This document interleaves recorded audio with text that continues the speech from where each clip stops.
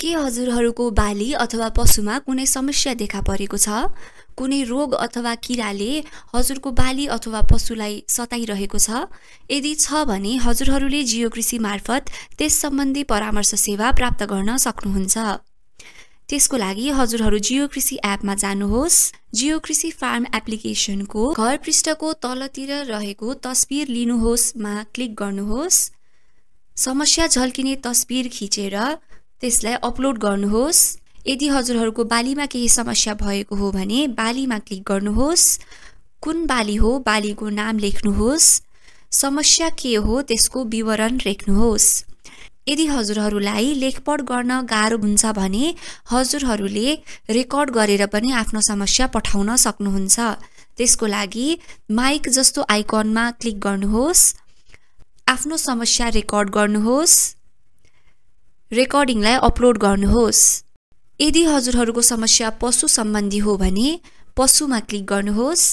कुन पशु हो पशुको नाम लेख्नुहोस्। पशुको उमेर लेख्नुहोस्। समस्याको विवरण लेख्नुहोस् वा रेकर्ड गर्नुहोस्। र अन्त्यमा रहेको पठाउनुहोस् लेखिएको हरियो बटनमा क्लिक गर्नुहोस्। हजुरहरूको समस्या जियो कृषिमा अब अपलोड भइसकेको छ।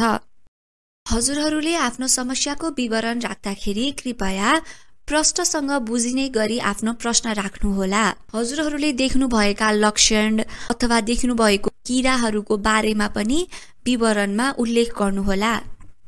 हजुरहरूको फोनमा पहिल्यैदेखि नै समस्या झल्किने फोटो छ भने हजुरहरूले आफ्नो ग्यालेरीबाट पनि फोटो छान्न सक्नुहुन्छ। त्यसको लागि क्यामेराको छेउमा रहेको ग्यालेरीमा क्लिक गर्नुहोस् र समस्या झल्किने फोटो छान्नुहोस्।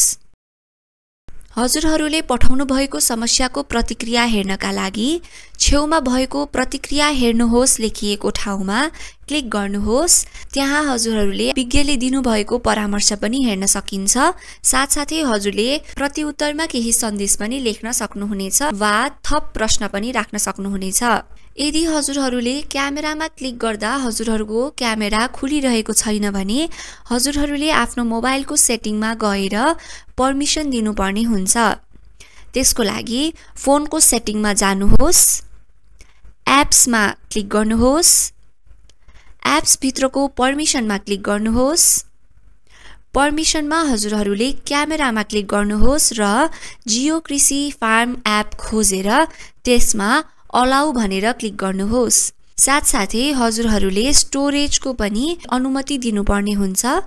हजुरहरूलाई जियो कृषि फार्म एप चलाउँदा केही समस्या भएको छ अथवा एप्लिकेसनबारे केही प्रश्नहरू राख्न चाहनुहुन्छ भने हाम्रो सहायता केन्द्रको सम्पर्क नम्बरमा पनि सम्पर्क गर्न सक्नुहुनेछ। धन्यवाद।